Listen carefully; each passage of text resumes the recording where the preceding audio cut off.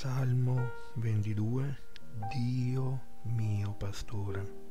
Il Signore è il mio pastore, non manco di nulla. Su pascoli erbosi mi fa riposare, ad acque tranquille mi conduce, mi rinfranca, mi guida per il giusto cammino, per amore del suo nome. Se dovessi camminare in una valle alcun male, perché tu sei con me. Il tuo bastone e il tuo vincastro mi danno sicurezza.